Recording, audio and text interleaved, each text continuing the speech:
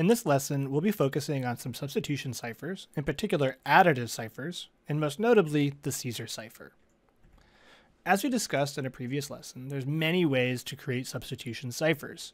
And in fact, if we were to just focus on our plain text alphabet on the screen, we would have 26 choices to map the letter A to some letter in the ciphertext alphabet.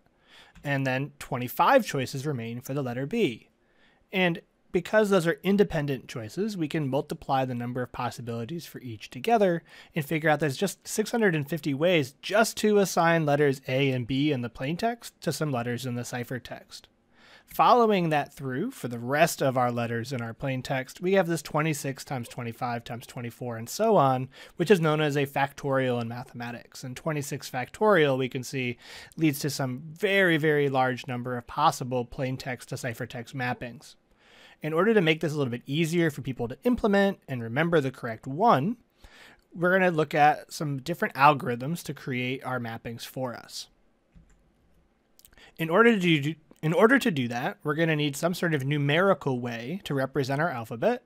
And in this course, we're going to do that by representing the letter A as 0, B as 1, C as 2, and so on, all the way up to the final letter of the alphabet, Z being 25. You'll see in other resources that sometimes A is represented as 1 and Z as 26, which makes a lot of sense when you think about counting. But the way that computers and oftentimes mathematicians and computer scientists start counting is with the number 0. And we'll see that this has a few there's a few reasons for that, some of which make our mathematics work out a little bit nicer than having A as 1. So for example, this short word crypto we could turn into the numbers 2, 17, 24, 15, 19, and 0. Oh, and 14. Now that we've established our numerical system for representing letters, we can learn how to actually implement an algorithm to encrypt a message. So the Caesar cipher, named after Caesar, the famous historical figure, uh, is an additive cipher and it uses a key, which is an integer, and that key will specify what number to add to the numerical representation of your plain text letter, and that'll help us determine the numerical representation of our ciphertext letter. So for example, if we had our plain text of crypto with those same numbers, and I had a key of 3, I would add 3 to each of those values to get a new numerical value. So 2 becomes 5, 17 becomes 20, and then we can look those back up and figure out, well, 5 is the same thing as an F and 20 is the same thing as a U. 27 we don't really have a representation for. We have to talk about how to handle that. But for 18 we know is an S, 22 is a W, and 17 is an R. And we'll see that really no matter what the key is, as long as it's not a zero, adding that number to our plain text is pretty likely to result in some number that's bigger than 25 that we need to figure out a solution for. But it turns out that this problem is something that we've dealt with before in our everyday lives whenever you read the time off of an analog clock. Here we have a clock where the hour hand is at 9. And if I were to say 5 hours were to pass, you might think, well, I'm going to end up at 2. Mathematically, we might have the statement 9 plus 5 equals 2, which doesn't make a lot of sense just taken out of context. 9 plus 5 is not 2, it is, it is 14. So maybe we specify it this way 9 plus 5 is congruent to 2 or equivalent to 2. And we'll put something there in parentheses to specify why that actually might be true. And in this case, we're thinking about it as clock time. So we can say 9 plus 5 is equivalent to 2 when we're talking about clock time. And we have a couple other examples here. If it were noon and five hours passed, you would say it's five. So we could say 12 plus five is equivalent to clock time, or 12 plus 12 is equivalent to 12 in clock time. And we can extend this out further, so it's not just talking about times on a clock, but we could do the same thing for really any size number system we wanted to work with. In our particular case, we wanted to work with a number system that started at zero and ended at 25. And on the next slide, we have a very long clock. Uh, we've spiraled it around, but it starts at zero in the center and it works its way around. And we can see that every lap around the spiral increases the counter by 26, either forwards or backwards.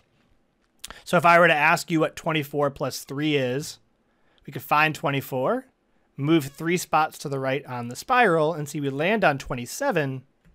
And if we focus on this wedge where the 27 is, we could also say that 27 is equivalent to 1, or 53, or 79. All of those are equivalent numbers, but we have to specify that we're working in a number system that goes from 0 to 25. And the way that you would do that is we say we, are working in a modulus of 26. There are 26 numbers in our system, and it starts at 0 and goes to 25.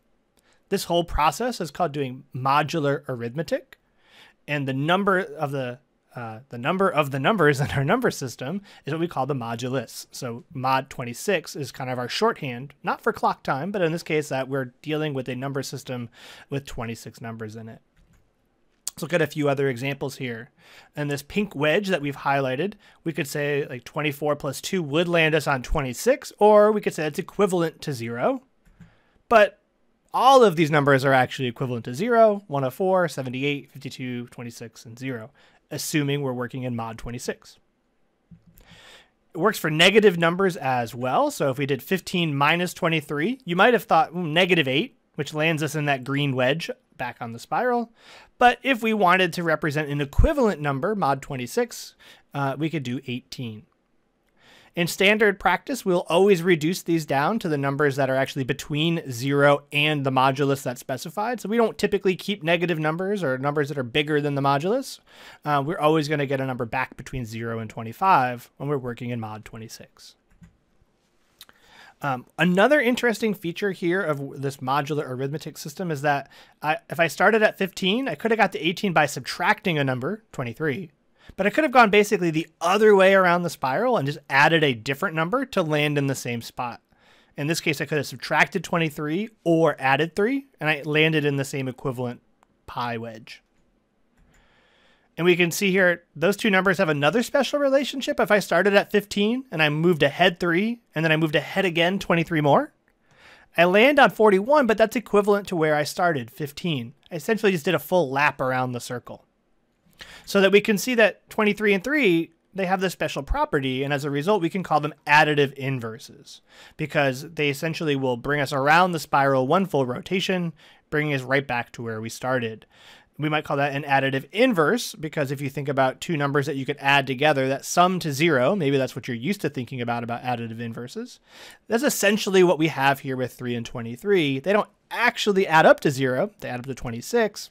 But if you're working in mod 26, that's essentially the same thing. So we could say in general, any two numbers are additive inverse as mod 26. Uh, if one of them is represented as n, the second one you could figure out by just doing 26 minus n. That'll be an important factor for us to remember here in just a moment. So we can use this to figure out our last couple, couple missing letters there when our key is 3. If we added uh, 3 to 23 where we had an X, we had a 26 before, but now we know it's a 0, and we know 0 is the same thing as an A. 24 goes to 27, but we know that's equivalent to 1. And 25 goes to 28, but we know that's equivalent to 2. So we can finally figure out our plaintext. Now, mathematically, we could write this statement here. We could say that C is equivalent to p plus k mod 26, or, solving for p, that p is equivalent to c minus k, where p is some integer that represents our plain text letter, c is some integer that represents our ciphertext letter, and k is some integer that represents our key. So there's our mathematical way to define the Caesar cipher. So let's actually practice deciphering a message now that we've defined how to do it mathematically. We'll start the same way. We'll take our ciphertext letters AOL, VYF, and convert those to numbers 0, 14, 11, 21, 24, and 5. And then we'll subtract off our key of 7. 0 minus 7 gives us a negative 7, 14 minus 7 is 7, and so on. We get our kind of plain text integers, but we notice those don't map to 0 to 25. We've got some negatives in there.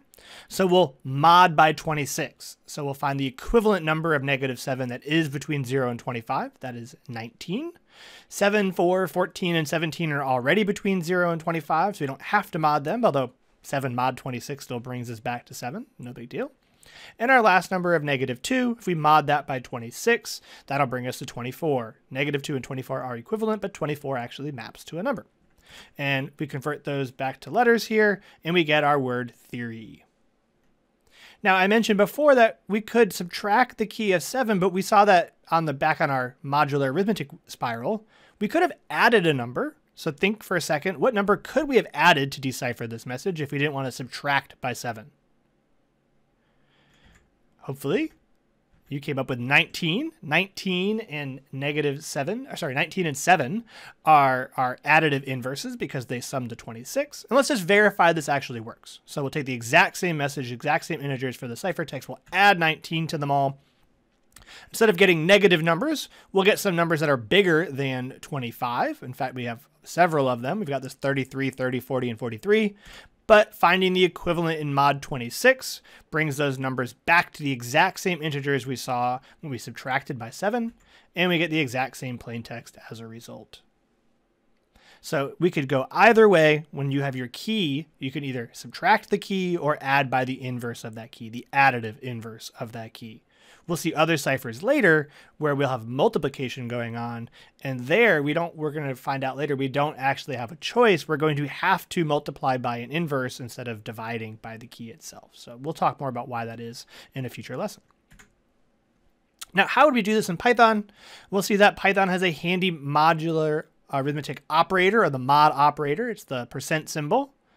And it will tell you which value is equivalent to the one that you specify between 0 and whatever your mod value is. So for example, if we had some plain text represented numerically as 15 and our key was 20, we could compute the ciphertext numerical value by adding the plain text number and the key together. And then if we mod by 26, it will find the equivalent integer between 0 and 25 to whatever plain text num plus key is. So those two numbers add to 35, modding by 26, as we'll see when we hit the print statement, is going to return back a 9 to us. So it actually did that work for you. You don't have to draw out the spiral or do any addition or subtraction to figure out your equivalent number of the 35. The computer can handle that calculation on your behalf.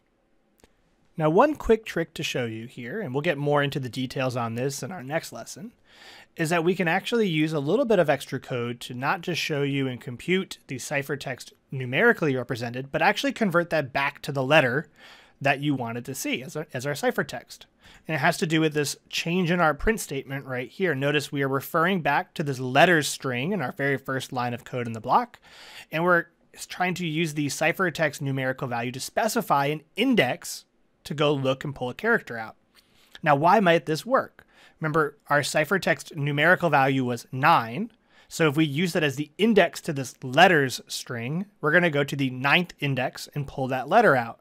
Well, look at the way that that string was constructed. A is at index 0, B is at index 1, all the way to J being at index 9. The index value for the characters in that string are the exact same values that we specify should represent those letters in the alphabet. And that's part of the reason why we said A should be zero and not one, is that by defining our letters string as A, B, C, D, and so on, we can ensure that the character's index matches the numerical representation that we've already set up on. So they are always in agreement.